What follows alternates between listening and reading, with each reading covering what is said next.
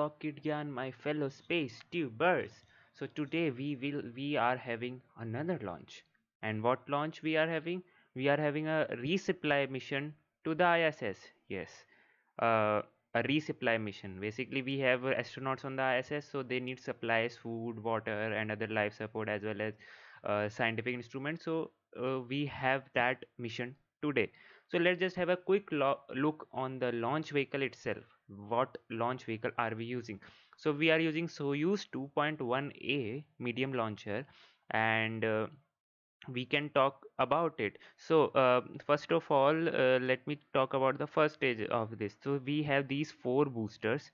Uh, first of all let me tell you that all of these boosters are liquid fuel engine okay? There is no solid rocket booster. All are liquid fuel engine and uh, here we have. So uh, these this is how it looks like guys uh, the Soyuz first is composed of four boosters that are assembled around the launcher's central core and they are they run at RD107A engine which is powered by liquid oxygen and kerosene basically the RP1 engine.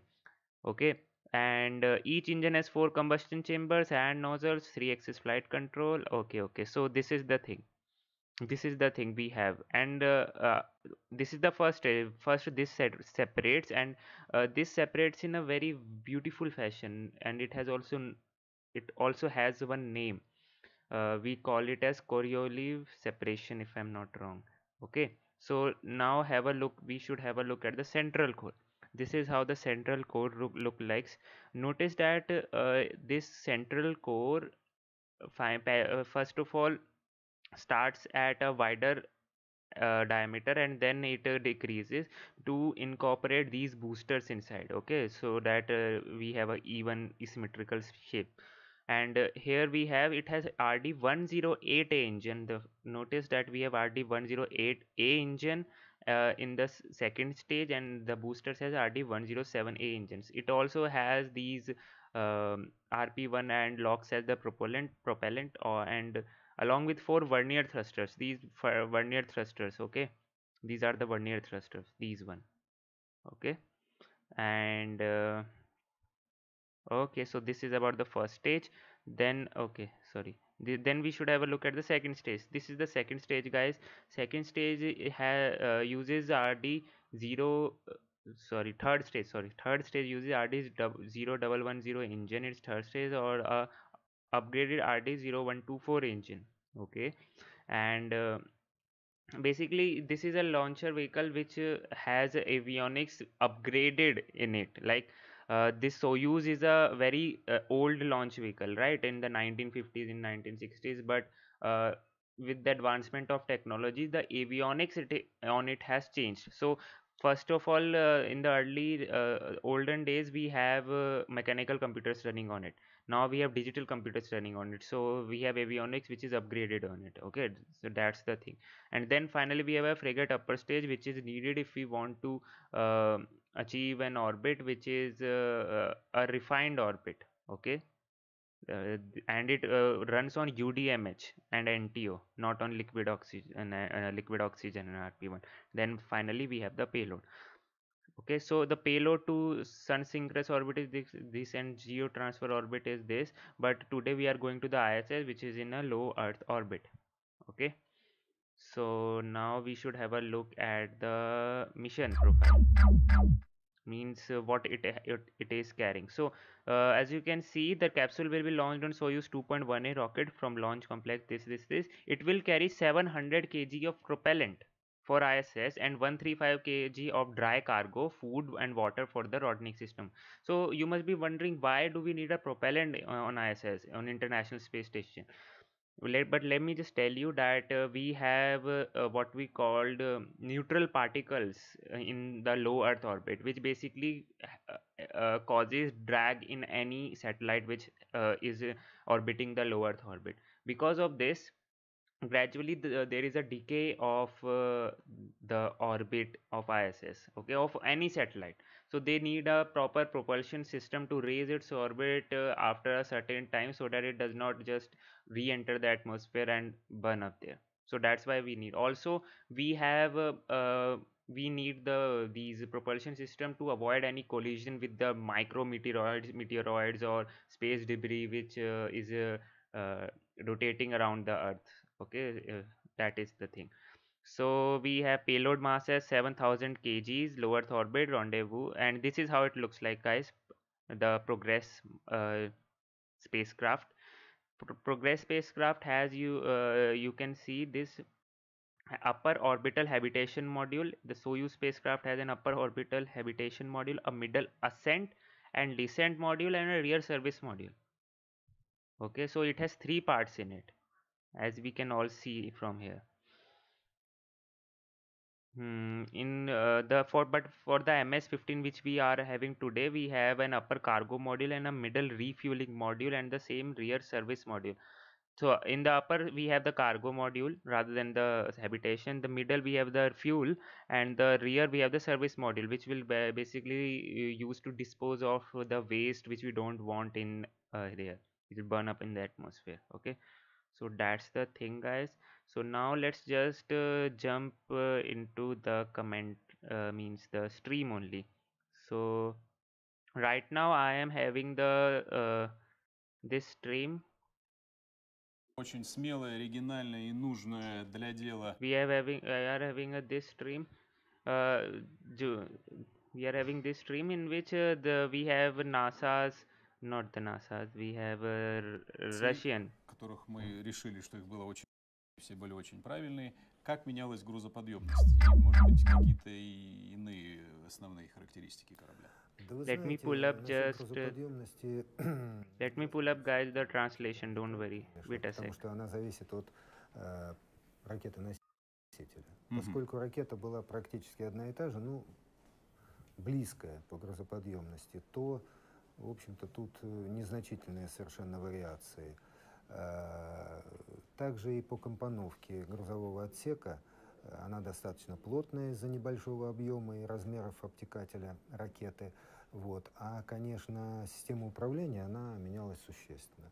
Я говорю, что были уже, значит, аналоговые корабли, как первые «Союзы», потом э, на базе «Союза Т» были прогрессы М, был прогресс, э, скажем, э, в котором там же есть возможность, у него объемы позволяют Э, возить грузов гораздо больше, чем ракета может поднять. Поэтому mm. можно перераспределять между различными грузами. Жидкими компоненты топлива, вода, газ, грузы для станции. Вот это, это перераспределение очень возможно. Интересно, да. да. Поэтому, значит, была, была такая э, серия грузовых кораблей, э, мы их называли восьмибаковые, в которых был повышенный запас топлива. Это был в последней фазе станции «Мир», они необходимы были для э, потом затопления станции, mm-hmm. потому что там нужно было давать станция тяжелая, большие превращения скорости, много топлива, и поэтому э, были, значит, с увеличенным запасом топлива грузовые корабли. Ну и, конечно, вычислительные системы и бортовое оборудование, как я уже говорил, они шли все время впереди с опережением пилотируемых кораблей. Александр Ильич, ну как раз к этому вопросу а, модификация грузового корабля может меняться. Вы сказали, что на одной платформе сделаны и а, пилотируемые корабли, и наш а, прогресс. И мы знаем, что в грузовике нет спускаемого аппарата. Но все же общими мазками, из каких основных частей состоит грузовой корабль? Да, значит, э, первый отсек, если считать от носа, который к станции подходит, это э, герметичный грузовой отсек, там сухие грузы, оборудование – вот, очень похож на бытовой отсек э, с корабля «Союз». Э, единственная разница, они состоят из двух полусфер с цилиндрической вставкой mm-hmm. между ними. Так вот, высота вставки у «Прогресса» там на 100 с небольшим миллиметров больше, чем у «Союза». Понятно. То есть очень, очень похожие. Значит, дальше вместо спускаемого аппарата, правильно, там установлен отсек компонентов дозаправки, в котором располагаются э, жидкие грузы, основные, то есть это компоненты топлива, это вода. Вот. И дальше очень похожий приборно-агрегатный отсек, угу. в котором двигательная установка, вспомогательные системы, солнечные батареи, радиаторы. Единственное отличие, что приборный отсек у прогресса, он немножко увеличенный относительно Союза. Также два сферических днища, только это не полусферы, а сегменты сфер большого радиуса, и между ними цилиндрическая вставка, которая по длине больше, чем у Союза. Понятно. Не, не существенно больше. А так в целом очень похоже. Александр Юрьевич, спасибо, рассказали очень подробно, детально и вот как-то очень зримо, вот, э, так сказать, в вашем изложении вся эта картина предстает. Спасибо огромное. С нами был руководитель летно-космического центра ракетно-космической корпорации энергии Александр Калери. И э, Ну, Hi everyone, uh, что thank you so much for tuning in. Hi, uh, Vigo, I Al Haditi. Hi Dominic. Hi Известно, Thro- что uh, ребята Thro- придерживаются Thorsten. определенной диеты, но вот кто и Uh, каким and образом pardon me это if I формирует, pronounced it узнаем wrong. сейчас. У нашего специального Hi everyone, корреспондента guys. Слово Василию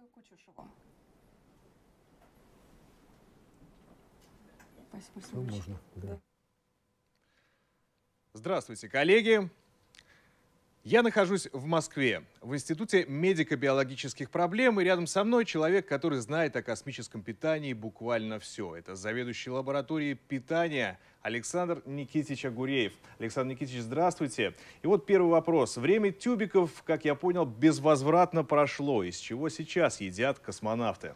Я бы не сказал, что время тюбиков прошло, потому что э, соусы и приправы все-таки поставляются в небольших количествах, но э, в тюбиках.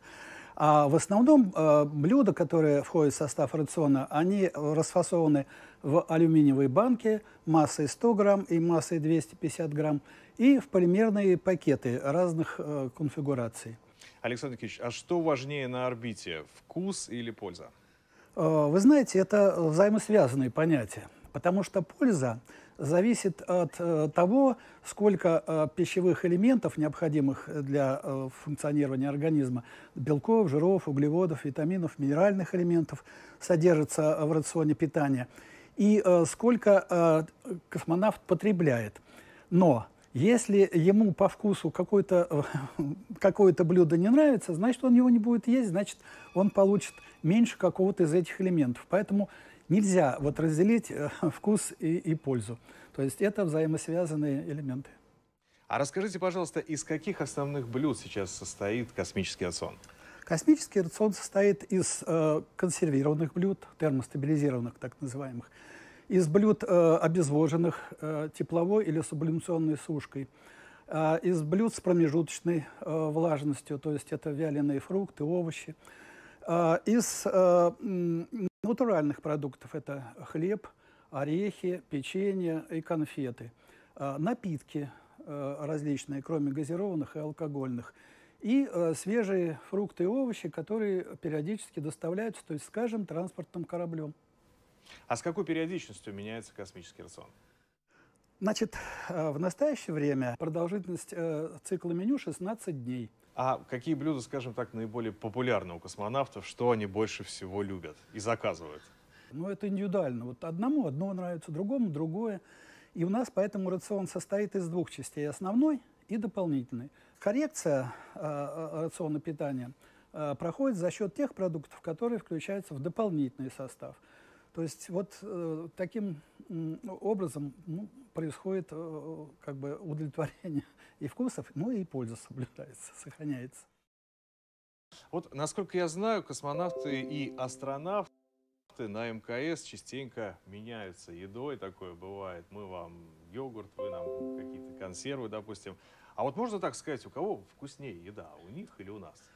Значит, э, здесь ну, вопрос заключается в том, что есть национальные м, предпочтения, э, национальные We, традиции. we have a very cool information happening here, guys. We don't uh, get to see these all things.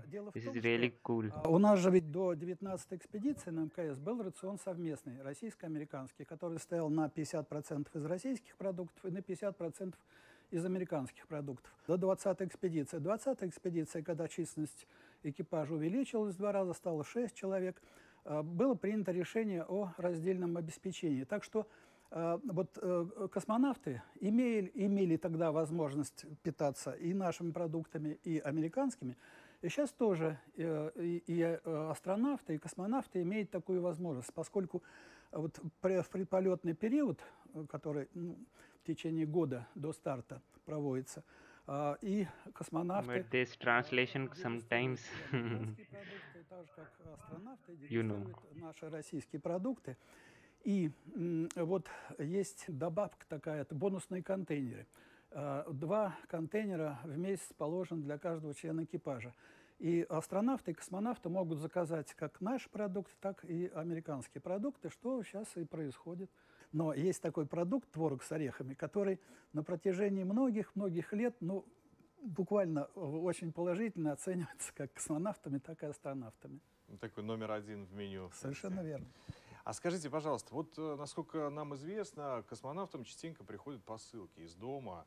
А, бывает ли там еда и можно ли им там положить, скажем так, упаковать тарелочку борща? Вот тарелочку борща э, упаковать нельзя, потому что э, эти продукты должны быть, во-первых, максимально подготовлены к употреблению, сохранять свою микробиологическую безопасность а, в течение, ну, скажем так, не менее 30 суток хранения в условиях нерегулирования температуры. Поэтому э, вот те э, посылки, которые э, посылаются, то есть они должны соответствовать э, разрешенному перечню. Но он очень большой, то есть там вот есть, допустим, колбаски, там пикалини и прочие всякие э, различные, э, ну, скажем так, джемы, там мусы и прочее, прочее. То есть все это э, так, но только вот одно условие, что продукт должен быть максимально подготовлен к употреблению и должен сохранять свою безопасность. Ну, еще мы знаем, что у космонавтов э, все э, рацион и все приемы пищи строго регламентированы, чтобы хватило запасов и прочего, прочего. Но а вдруг э, возникнет необходимость, ну вот добавки захотел человек. Вот это, это возможно? Это возможно. Дело в том, что теперь мы пишем рекомендуемое меню. То есть э, и в процессе подготовки вот, э, космонавты Э, информированы об этом. Эти запасы, которые, во-первых, вот дополнительный э, набор продуктов и вот бонусные э, контейнеры, и то, что присылается родственниками, и у нас есть еще отдел психологической поддержки, то есть вот эти вот наборы. То есть это э, все предназначено для того, чтобы, ну, как можно больше удовлетворить свои, свои вкусы и свои потребности. И это не, не возбраняется, не запрещается.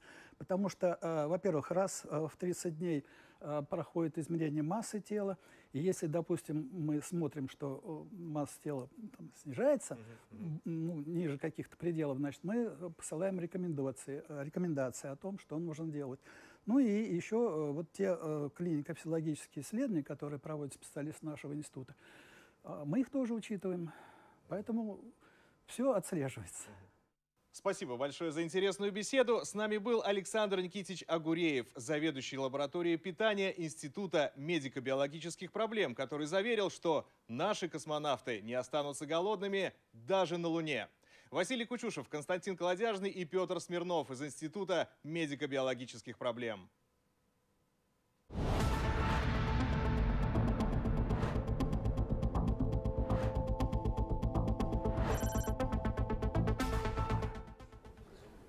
Мы продолжаем прямую трансляцию подготовки к запуску космического грузового корабля «Прогресс МС-15». Присоединяется к нам космонавт Роскосмоса, герой России Олег Скрипочка. Олег Иванович, прошу, подходите, занимайте место Добрый в нашей импровизированной прекрасной студии в Центре управления полетами. В первый раз вы отправлялись на орбиту в 2010-м вместе с Александром Калери, для которого этот полет, если я не ошибаюсь, был пятым в его космической биографии. То есть более опытный коллега передает эстафету чуть более молодому. А весной вы, собственно, вернулись из третьей экспедиции. Это замечательно, очень хорошо, что вы сегодня с нами. И сейчас в прямом эфире мы говорим на очень человеческую и в то же время на профессиональную тему «Вкусовые пристрастия космонавтов». Конечно же, о вкусах не спорят, но обсудить этот вопрос со знающим человеком – это всегда довольно интересно. Тем более, что Олег Иванович пришел не с пустыми руками. Ну так что ж, первый да. вопрос к вам, Олег Иванович. Как же все-таки формируется рацион космонавта? Учитываются ли его личные вкусовые пристрастия? Ведь иногда хочется что-то послонее, что-то поострее, поперчее. Ну, у нас в основе лежит базовый 16-суточный рацион питания, куда входят продукты консервированные. So basically they are right now discussing about the food of the astronaut and what are their preferences. Uh, like they are saying they don't uh, argue with the tasties and all. So yeah. Cool info.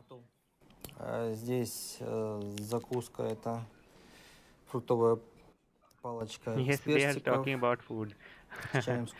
Sometimes uh, seems like wow, what uh, food абрикос, but яблоко. yeah, this the, Какая вам we больше нравится? often ignore Фруктовый those палочек. basic По things вкусу это which хорошо. we Разное. uh, Настроение need зависит. every Да, time. это So настроение. yeah, То есть that есть is one базовый co- рацион. component. Э, Есть э, приправки у нас на земле, да, это, ну, как кто хочет поострее, пожалуйста, есть там перец, кетчуп, и горчица. Перец. Uh, Age of Reason, actually, this is a cargo launch, but cargo uh, resupply mission. So that cargo has food, water, and all life support systems. So that's why they are talking about it. Иначе все будет поострее вокруг тебя. Олег Иванович, а скажите, вот космос это ведь такое место особое, как-то ощущения вкусовые во время экспедиции в течение времени как-то меняются? Ну, вы знаете, как у каждого из нас какие-то и меняются определенные пристрастия. Есть э, какие-то общие пристрастия, продукты, там, блюда, которые человеку нравятся. Но сейчас, может, это надоесть, чего-то хочется больше, чего-то меньше. Как у всех людей, так и на борту. А, Поэтому у нас в базовом рационе есть возможность взять некие бонусные продукты питания. Ага. Да, как с российской стороны есть специальный перечень, есть таких штатных, которые входят в рацион, и есть некий дополнительный список, из которого, которого может кто-то себе выбрать. Это и продукты, могут какие-то кондитерские изделия, там кому что больше нравится. Но, конечно, в очень таких определенных пределах. Ну, вы так очень заманчиво рассказываете о еде, что сразу захотелось все попробовать. И об этом говоря, вопрос в этом. Есть ли какая-то схема, которая контролирует учет калорий, которые потребляют космонавты? Ведь основная задача, чтобы не а, увеличить свой вес к концу экспедиции. Ну, весь базовый рацион, он рассчитан, исходя из космических условий. Ну, а нюансы, это уже каждый сам, под се- сам свой рацион питания постарает под себя. У каждого из нас свой метаболизм и особенности. Именно поэтому на борту сущ- существует один из обследований, это контроль веса Мгм. на борту. Поэтому каждый может четко понимать, куда он идет. И Земля всегда знает, сколько ты весишь. Да, Да. как минимум раз в месяц. Понятно. Вы уже говорили о неких продуктовых бонусах, и в продолжение вот этой темы, э, прибывают ли на орбиту продукты, ну вот, которые, возможно, не вполне предусмотрены регламентом, а которые просто радуют? Ну вот что-то-нибудь эдакое, прям совсем до души. Ну, для души семья имеет право с каждым грузовым кораблем, в том числе вот, Вот, сейчас то есть прогресса личная семейная есть. посылка. Да, но там есть ограничения, то есть продукт должен храниться долгое время в обычных условиях. Мгм. И Yes, they were talking about food. Uh, I have the translation up. Uh, только you can see the translation, right? Только свежее должно быть, Да. да? Uh, Because Ну, это ну, не то чтобы свежее, это имеется Yeah. там, не знаю, конфеты, мед, какие-то закуски, которые выдерживают длительное хранение. Орехи очень популярные. А вот То есть еще вещи такого плана. Понятно, Олег Иванович. А вот еще такой вопрос напрашивается. Всегда на нашем столе а, в быту, когда мы кушаем, присутствует хлеб. Это непременное добавление к первому, второму блюду. А как вообще с этим обстоит дело э, в космосе, с хлебом? but cargo has food in it, so that's образца я принес это хлеб московский ржаной. Ржаной, Да. есть белый, есть бородинский, вот такие мини-буханочки. То есть А не вот- надо кусать, не надо резать, а прямо целиком. А, простите, думаю, я вижу срок э, хранения э, в 19 А, то есть это он уже... Ну, Это это, экспонат. тр- тренировочные Это образцы, это тренировочный я взял экспонат. из ЦПК. То, что мы используем на наших тренировках наземных. Я думаю, Ане это все знакомо. М, Да, То есть Да-да. пробовала. да. А, Олег Иванович, спасибо большое. Очень вкусно все рассказали. Хочется все действительно попробовать. И а, у нас есть а, в знак благодарности этой рассказанной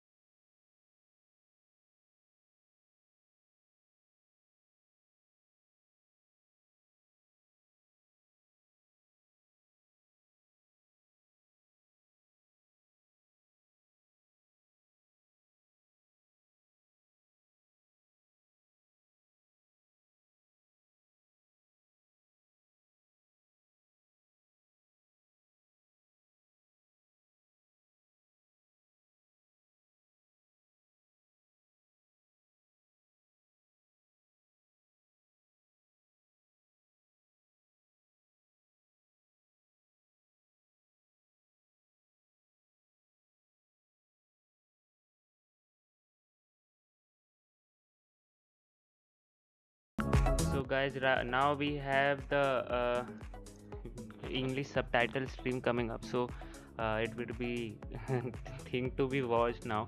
They were just discussing about food but yeah uh, there were they were giving basically an uh, interesting knowledge on uh, actually what food they the astronauts actually eat tend to eat in uh, on iss yeah it's a regular launch but we say it as a regular launch but the ground sta- sta- uh, ground station controllers and all those men and all those who have built the rocket they always and always whenever there is a rocket launch they always have all those checks performed every time.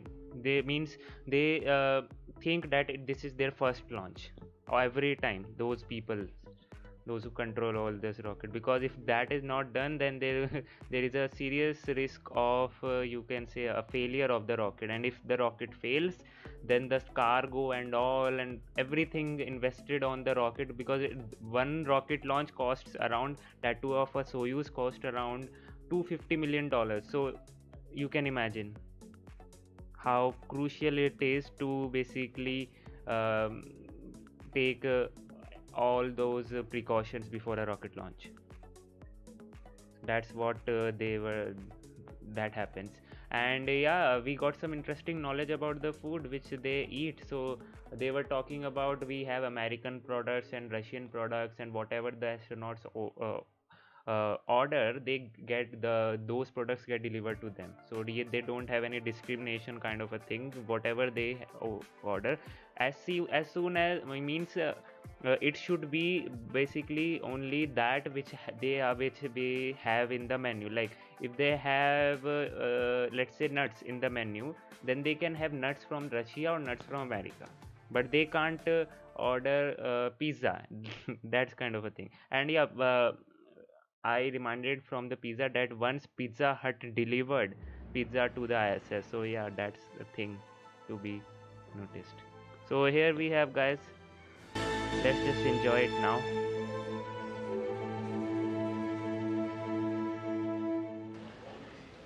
Good day from the International Space Station Flight Control Room here at the Johnson Space Center in Houston, where the flight control team here, working in concert with their Russian counterparts a half a world away at the Russian Mission Control Center in the town of Korolyov outside of Moscow, are ready to support the launch in just uh, 25 and a half minutes from now of a Russian Soyuz 2.1A booster, which stands fully fueled on Launch Pad 6 on Site 31 at the Baikonur Cosmodrome in Kazakhstan to send an unpiloted Progress cargo ship on a fast-track two-orbit journey to deliver almost three tons of supplies to the residents of the International Space Station. Welcome to our coverage of the launch of the ISS Progress 76 spacecraft from that Central Asian launch site in Baikonur. The weather today is clear, with temperatures approaching 90 degrees Fahrenheit, ideal conditions for the launch. The three-stage Soyuz booster was fueled for launch about four and a half hours ago. The countdown has proceeded at Baikonur in smooth fashion. Everything is in readiness for this launch and the expedited trip of the Progress to the International Space Station. At the time of launch, the station and its five occupants will be flying 259 miles over the border between Uzbekistan and Kazakhstan. Just 41 seconds after launch, the International Space Station will pass directly over the Cosmodrome and will leapfrog past the Soyuz booster and its Progress resupply craft as they climb to their own preliminary orbit in pursuit of the orbital outpost. The Progress is loaded with almost three tons of food, fuel, and supplies for the station's crew members.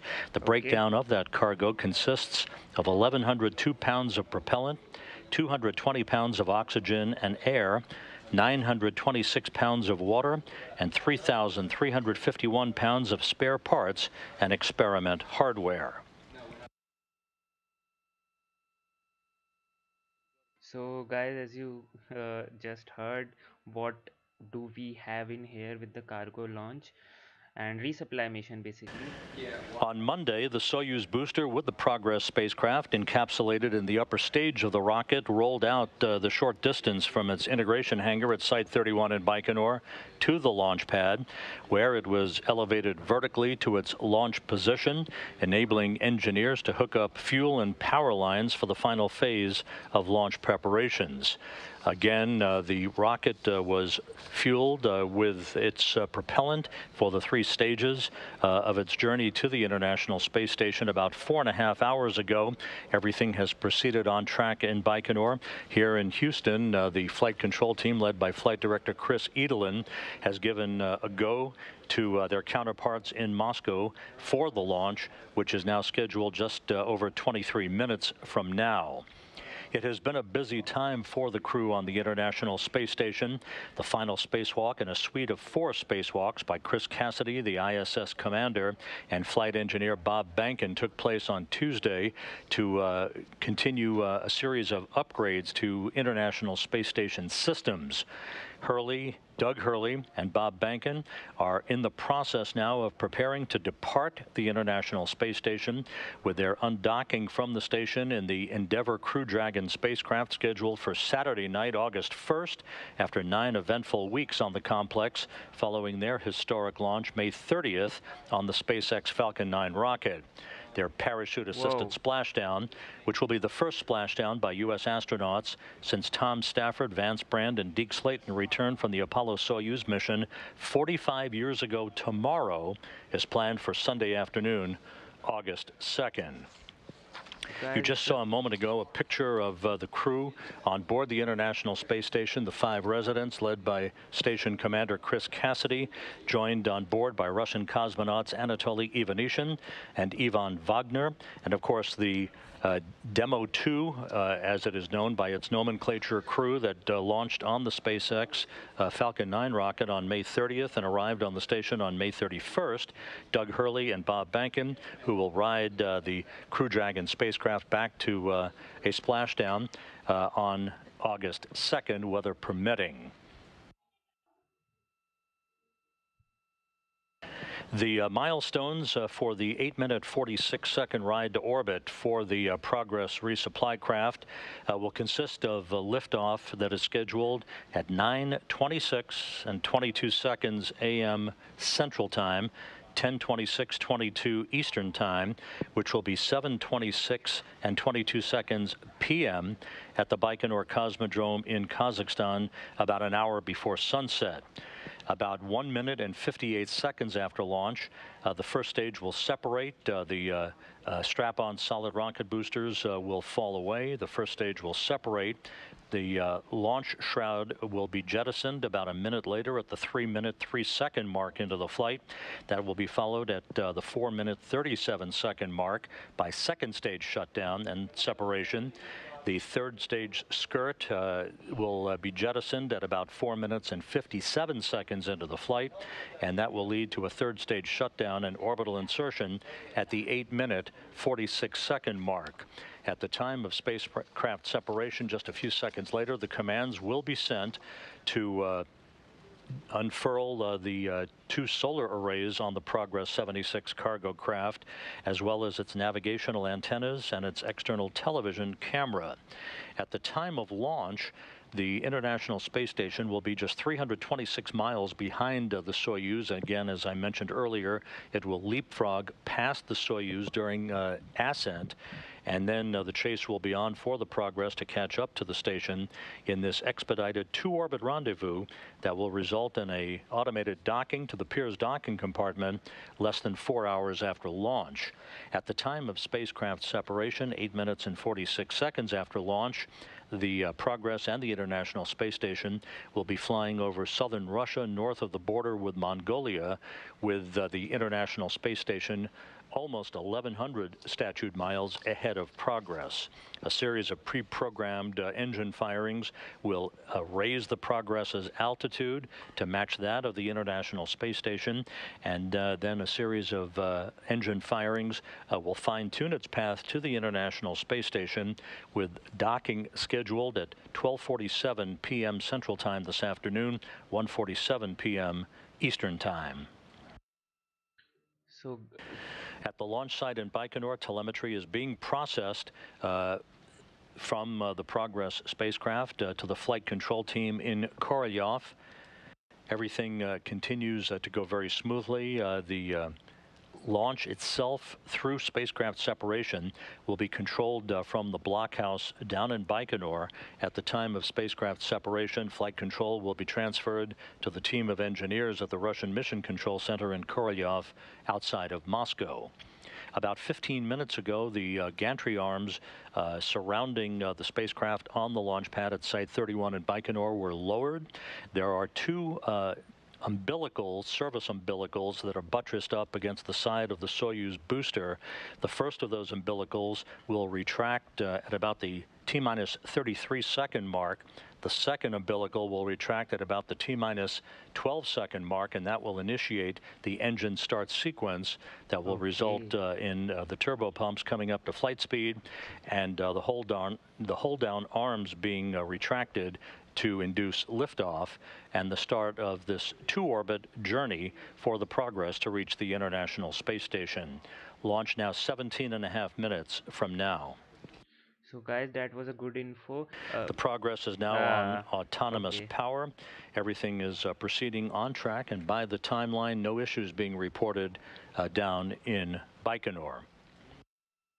So guys, as you The International Space Station is currently uh, traveling uh, just over the west coast of Africa, moving from southwest to northeast in an orbit inclined 20. Uh, 51.6 degrees to either side of the equator. On board the International Space Station, a busy day of activity for the crew, uh, led by uh, Station Commander Chris Cassidy, as uh, he uh, and his uh, crewmates work through a variety of science. Research uh, investigations as well as uh, preparations for the uh, return of Doug Hurley and Bob Behnken on the Crew Dragon spacecraft coming up, currently scheduled for Sunday, August 2nd. So guys, as you heard the uh, Crew Dragon demo 2 mission, they will be coming back. So I'll be streaming that also. And uh, so if you haven't subscribed till now, just subscribe and hit the like button, guys. Right now, uh, we have 100 people watching and uh, we don't have those many likes. So uh, okay, uh, let me just explain you what is happening right now. So he, he mentioned that This view now from uh, a camera in the balcony of the Russian Mission Control Center in Korolyov. Uh, as uh, the flight control team there, which is in control of the Progress's journey to the International Space Station today, watches over their console data and interacts uh, with the launch control team down at the Cosmodrome. Site 31 is where all uh, Soyuz launches are taking place uh, at the current uh, time until uh, refurbishment is made to uh, the launch site 1 that's called Gagarin's Start. Uh, the launch pad from which Yuri Gagarin launched uh, to become the first human to fly in space on April 12, 1961. That launch pad is undergoing uh, some significant uh, refurbishment to accommodate future launches should be back in the mix uh, in a couple of years uh, to support uh, dual launch operations off of two launch pads down in Baikonur. So guys, as he mentioned that the International Space Station must be over, it will be going overhead when the uh, there when it will be launching. So why is it going? Why do we need to go the ISS to We're coming overhead? up on about the uh, 15 minute mark until launch.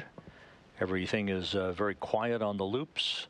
No issues reported uh, from the blockhouse down in Baikonur as the countdown continues uh, for the liftoff So let me just complete it first. Uh, So guys, so uh, why do we need that uh, uh, is ISS to be overhead? So first of all, um, we need to catch up with ISS, right? We need to match the ISS orbital speed to be able to rendezvous it. Also match up the orbital speed as well as the orbit. So when the uh, ISS is overhead when and at that time only if we launch then uh, because the rocket is also accelerating we tend to get almost approximately uh, in means um, kind of a, you can say orbit where we can perform Hohmann transfer to uh, ISS. Basically, as he mentioned that it will be a fast track delivery to uh, four two orbit uh, rendezvous. That means two orbit will be required to finally rendezvous with the Final minutes of the countdown uh, will include ISS. uh, milestones. so that uh, rendezvous happens with the Hohmann transfer. What is Hohmann transfer? Hohmann transfer is basically uh, a transfer from lower orbit to higher orbit uh, in which uh, we have the most efficient way of transferring. Means we have very less uh, expenditure of fuel okay? that's the minimum expenditure of fuel. so we we want that. That's why the we have the launch window like this. And, and how can i say this? because uh, uh, yeah playing kerbal space program has taught me something. So this was one thing which i got uh, taught from it to the rocket as it sits on the launch pad for the final couple of minutes of the countdown. The ground propellant feed uh, to the first stage of the Soyuz booster will be terminated at about the T minus 1 minute 30 second mark, and the Soyuz will go on internal power. The booster itself will go on internal power at about the T minus 1 minute mark.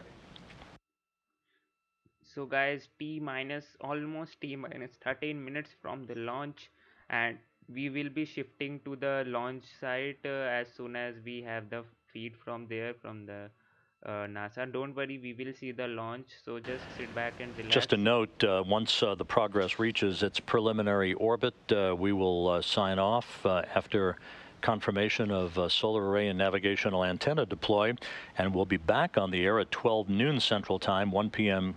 Eastern Time, for rendezvous and docking coverage as the Progress uh, makes its autonomous journey to the International Space Station for a link up to the Pirs docking compartment with uh, docking scheduled at 12:47 p.m. Central Time, 1:47 p.m. Eastern Time this afternoon.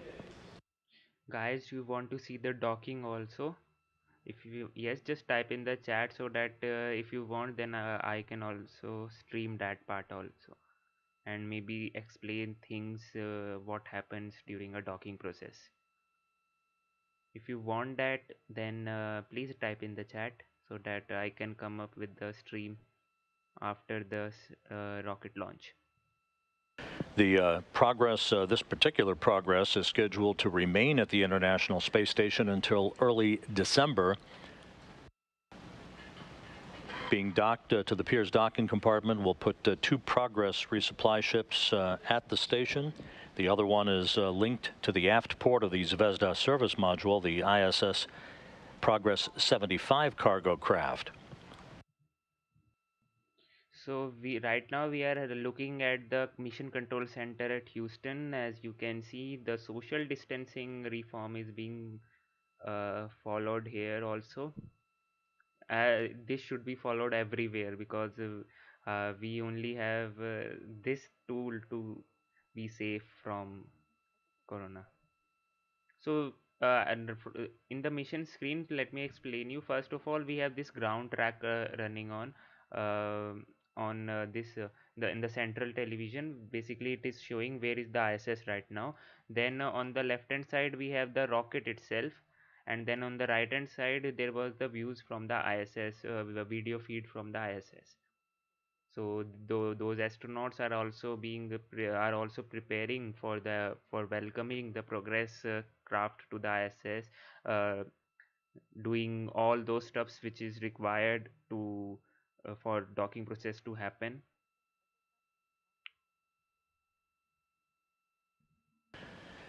This is Mission Control Houston. Once again, uh, everything proceeding on track uh, for the launch of the Progress 76 cargo craft just about 10 minutes from now.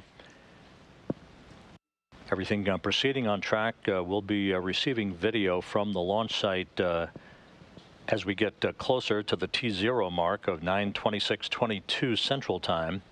Again, the weather is Mostly clear, just a few uh, low scattered clouds at the Baikonur Cosmodrome. Temperatures around 90 degrees Fahrenheit. Everything is in great shape. The Progress uh, is on autonomous power. The Soyuz booster, the 2.1A booster, fully fueled, uh, with fueling operations having uh, begun about five hours ago. okay um, so we will be receiving the live feed from the IS uh, sorry ISS, uh, the the Baikonur Cosmodrome uh, to see witness the rocket launch.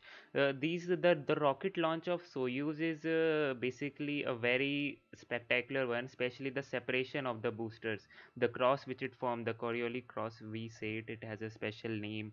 Uh, because of the you can say who made that separation once again mechanism. the progress is carrying uh, 2.7 tons of food fuel and supplies for the five residents of the international space station 1102 pounds of propellant 220 pounds of oxygen and air 926 pounds of water and 3,351 pounds of dry goods uh, meaning uh, supply hardware spare parts experiment uh, hardware and other uh, items such as clothing for the crew.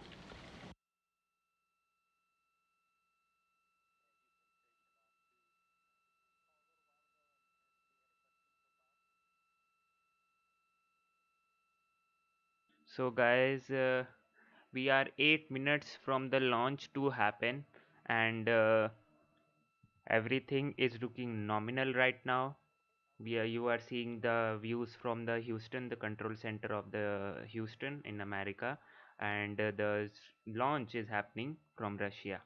So that's one thing to be noted about, noted about, and uh, yeah. Coming up on the eight-minute mark until launch. Okay, so eight minutes, uh, and the countdown which is uh, you can you are seeing right now, it is uh, done by uh, me only so that could be uh, delayed or delayed that could be delayed or maybe early. Uh, I'll fine tune it once I get the official count countdown.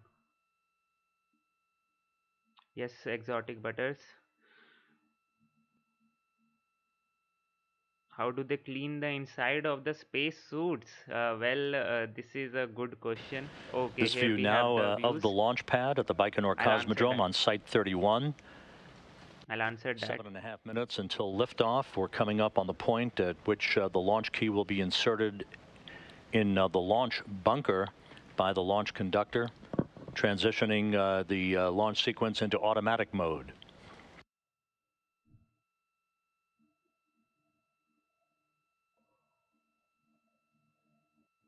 So guys uh, you saw those uh, views from that and those classic fumes from the rocket coming about. And uh, yeah. Uh, all the boosters and everything there in the Soyuz vehicle is liquid fuel that's why it is a and uh, and you also so saw that uh, the view from the launch site only and confirmation uh, from the blockhouse in Baikonur that the launch key now has been inserted. The next milestone uh, will be a confirmation that the range at Baikonur is clear and the Soyuz rocket is ready to begin its journey.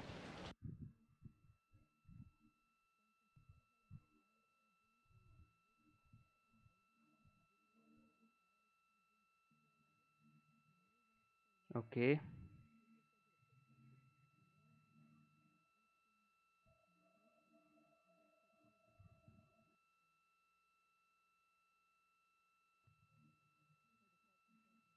Mm-hmm.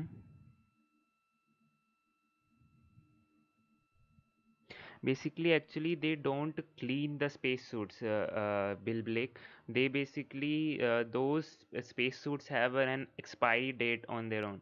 Uh, because the temperature there. Once again, uh, a good look at the uh, strap-on solid rocket boosters on the first stage of the Soyuz, uh, venting uh, the liquid oxygen.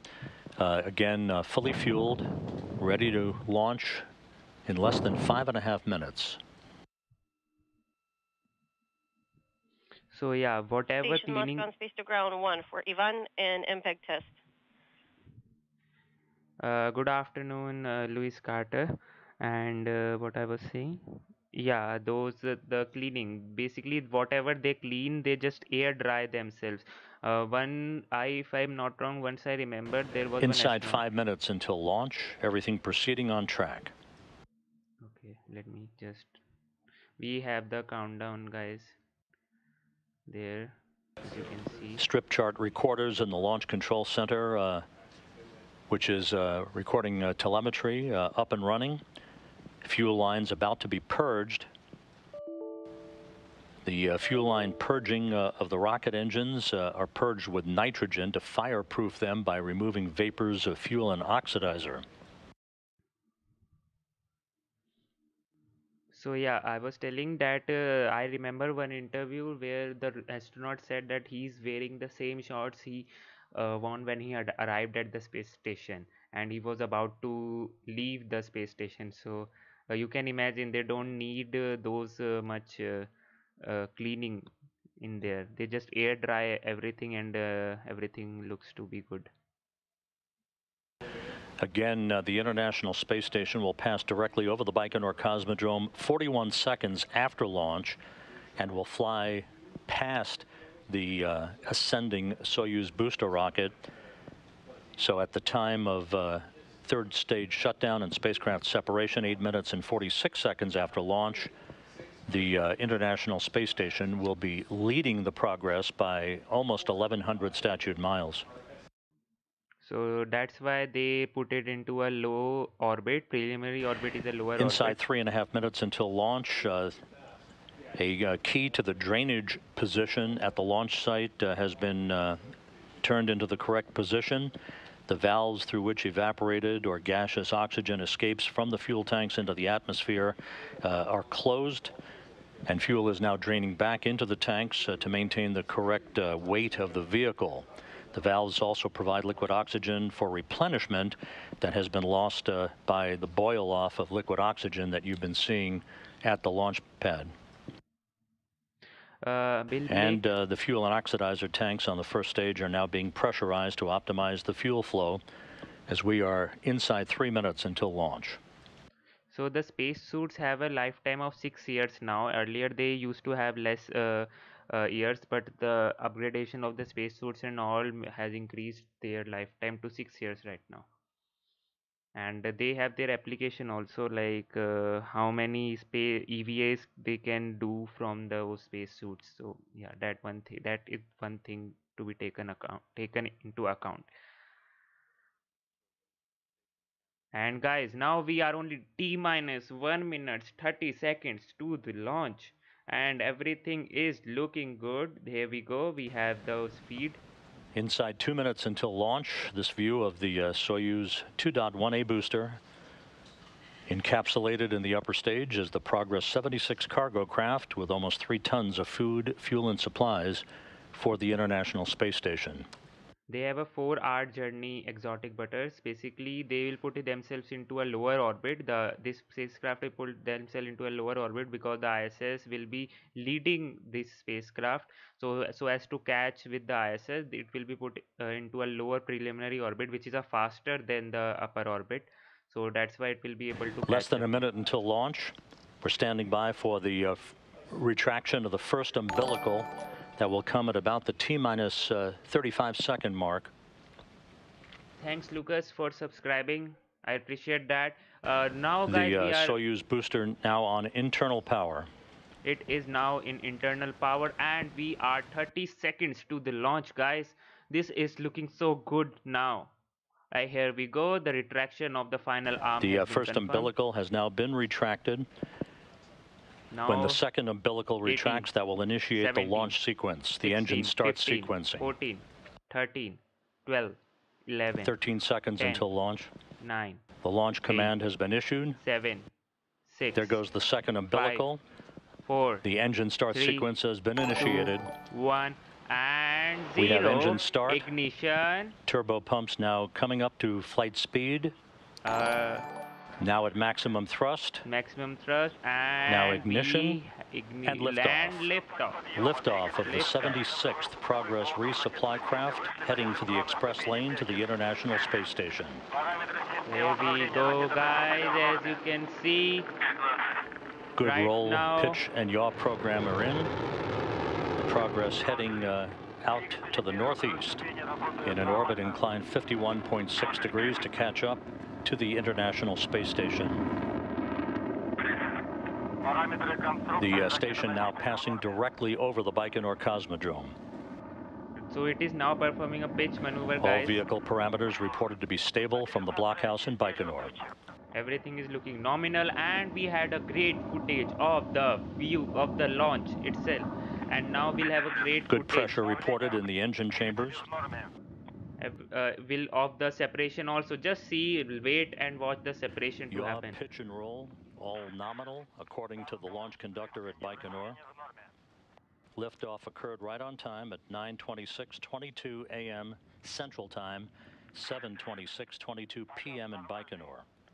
So guys, those engines, you as you saw that after some time, these uh, this uh, vehicle got uh, One minute, 27 seconds into the flight, everything reported uh, proceeding normally. got it's uh, got itself uh, up up the launch pad. This is because so here we have the This launch. view now from a camera from on the, the- upper stage of the Yeah. uh, Soyuz 2.1A booster. Here We're we about go. 10 seconds away from uh, booster shutdown and first stage separation. Uh, everything should be good. As you can see, the plume is growing uh, big now.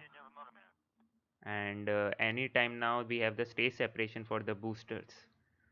Here we go. And And, there are the booster go. the see boosters now this separated. beautiful separation, guys. These cross formed by the boosters. Uh, this is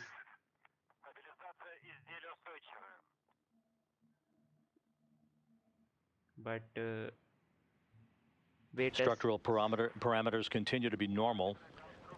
The uh, Soyuz uh, now being uh, thrust towards its preliminary orbit for the Progress resupply craft on the power of the second stage engines.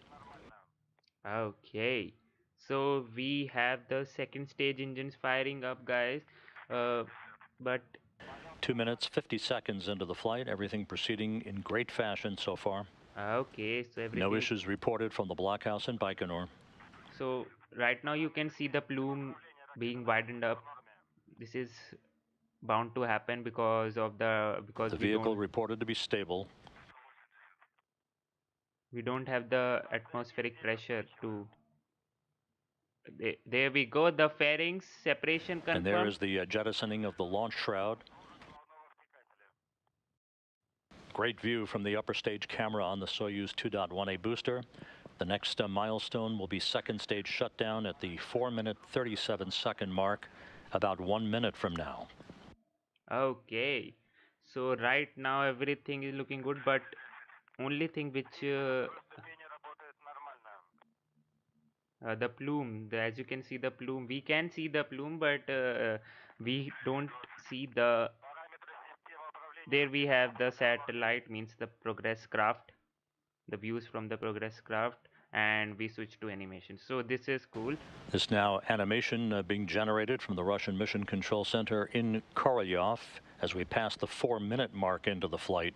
this is the speed which you are happening 24000 this which is which is uh, being uh, accelerated i don't know what's the unit but yeah this is the speed and we are 35 seconds from the second The uh, stage second stage uh, continues uh, to uh, burn in nominal fashion at the four and a half minute mark into the flight. oh sorry sorry we sorry uh, that's are not the standing speed. by now for second stage shutdown and Uh, separation. yeah that's the time time sorry sorry that's the time 269 seconds into the flight and 16 seconds from now uh, there will be the first stage uh, engine shutdown and the separation happening if i'm not wrong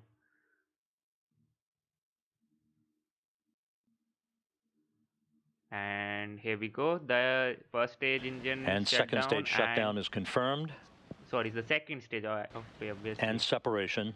confirmed here we go guys the And the third stage is up and running.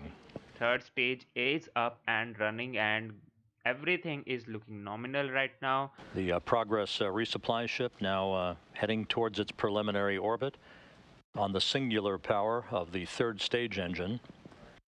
Five minutes, 20 seconds into the flight. it will uh, head uh, so next event is in 206 seconds uh, will be the uh, cutoff of the third stage engine. And let's see it simulated uh, yeah it simulated uh, exotic butters. That's the animation. This is the real one you are seeing right now. Uh, from the views from the satellite itself. Sat no, the Once again, spacecraft, this view from uh, this uh, view from a, uh camera on the upper stage of uh, the Soyuz, uh, the third stage engine up and running in good shape at the six minute mark into the flight. We're about two minutes and 45 seconds away from uh, the Progress entering its preliminary orbit. And guys, uh, uh, we don't. Uh, I, if I'm not wrong, we don't have any camera in the third on the third stage. That's why we are seeing the seeing the camera which is on the Soyuz craft only. That's why we shifted to the animation because uh, that's the thing. Yeah, everything is looking good. Six and a half minutes into the flight, everything proceeding on track. Good uh, engine performance from the third stage of the Soyuz booster. We are about uh, two minutes away from the completion of uh, the Progress's journey to its preliminary orbit. The International Space Station is now in front of the Progress. At the time of uh, third stage shutdown and spacecraft separation, the station and its five residents will be about 1,100 miles ahead of Progress. and to catch it that's why it is putting it into a lower preliminary orbit uh, as the lower orbit is tends to be uh, tends to be faster and then it will just burn the this their engine this uh, soyuz spacecraft will burn its engine turn on the engine and uh, perform a Hohmann transfer to for a two orbit rendezvous with the The vehicle ISS. reported to be rock steady and stable as it continues its climb uphill at the seven and a half minute mark into the flight.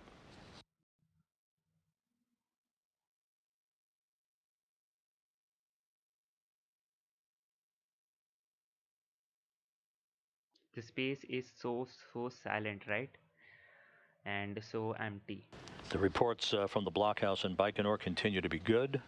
Good uh, structural uh, stability, good orbital parameters so far.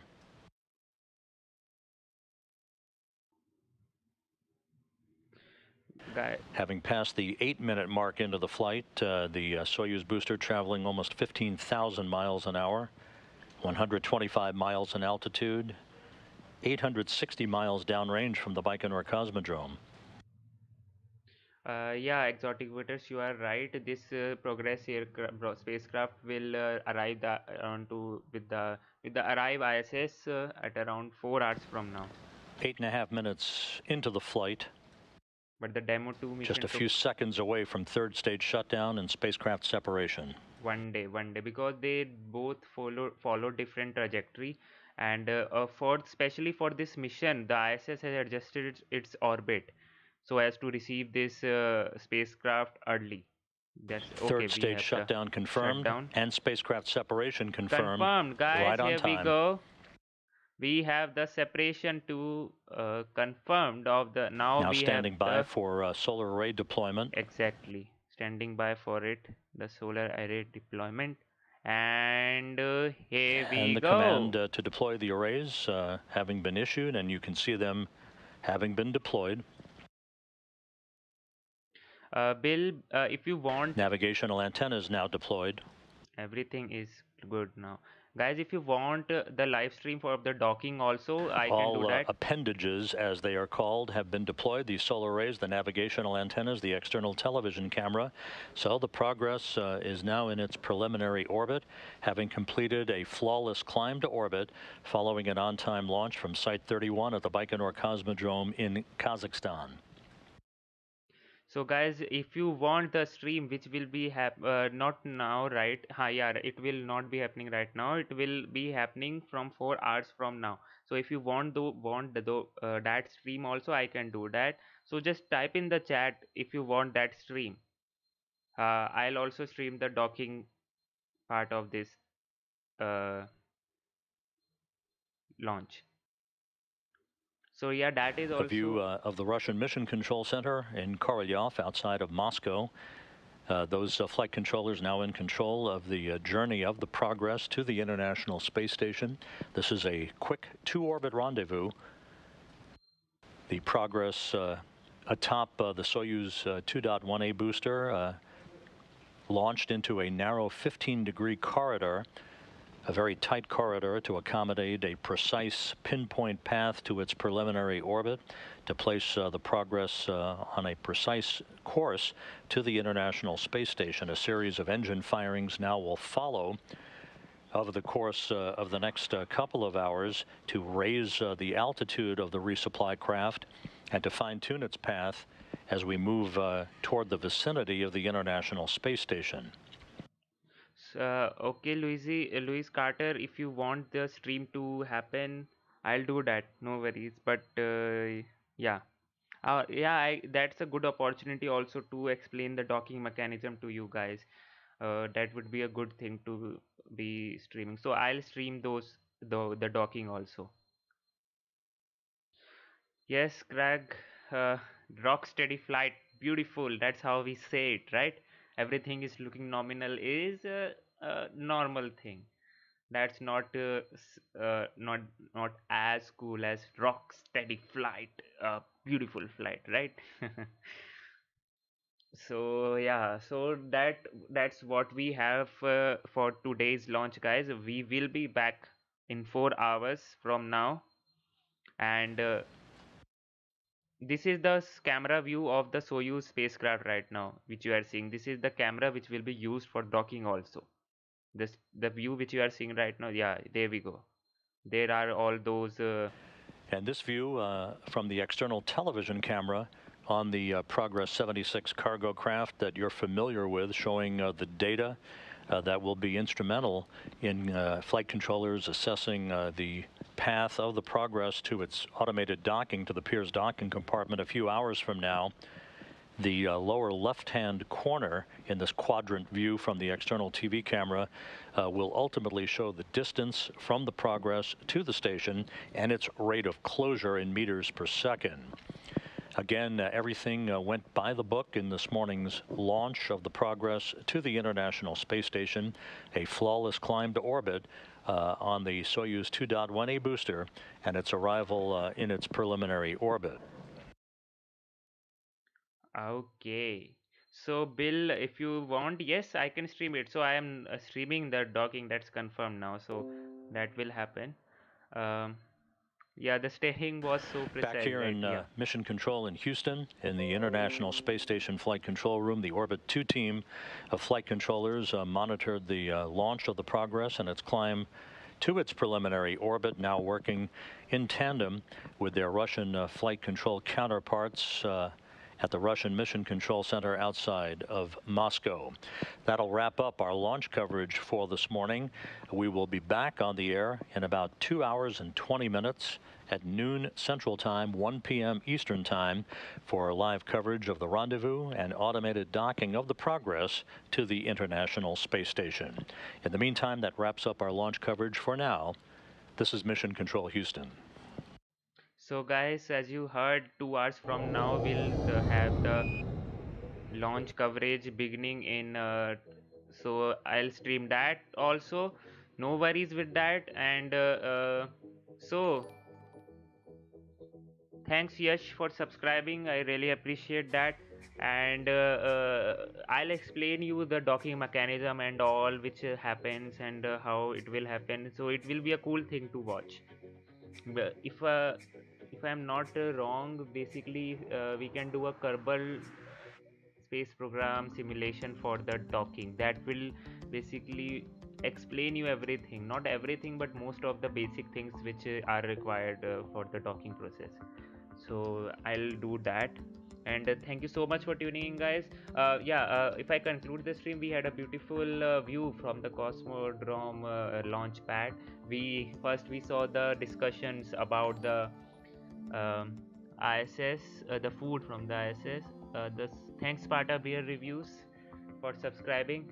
Uh, we saw the views from not the views. We saw the discussion about the food that is delivered to the ISS for the astronaut, and that was something which was very informative. Then uh, we saw the beautiful launch, uh, the uh, beautiful liftoff of the Soyuz vehicle, which happened right after at precise timings at t minus 0 seconds only and yeah one thing which is to be noticed which i was telling that those ignition uh, we had the liftoff actually took time. The, the engines ignited uh, uh, very early, but the liftoff took time. Thanks Stuart uh, for subscribing, and uh, uh, th- that was because that was because uh, the turbo pumps which are there in the engine. Basically, those turbo pumps are used to feed the engine with the propellant. Okay that that is used for that. And that turbo pumps require some time to come at full speed to feed uh, the engine with full the yeah you can say the full propellant the need the propellant need which it uh, with, which the engine requires. It needs some time. So yeah for the uh, turbo pump needs some time to come at, at full throttle and after if uh, it comes at full throttle the vehicle lifts off so that's some basic science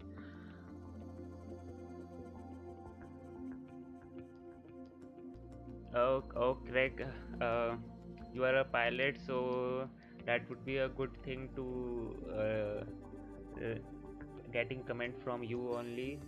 That was a precise maneuver. Yes, the rocket maneuvers needs to be precise because if it is not precise, then we can have a blunder with the orbit, and uh, that blunder could result into a mission failure or ultimate death of the uh, payload because it can re-enter the atmosphere which happened today uh, with uh, my kerbal simulation i was planning i was plotting the trajectory for duna encounter and i ended up uh, hitting the atmosphere and everything crashed. So that thing is to be taken into account.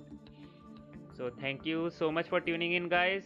We'll be back in two hours from now so just stay tuned with me and uh, yeah.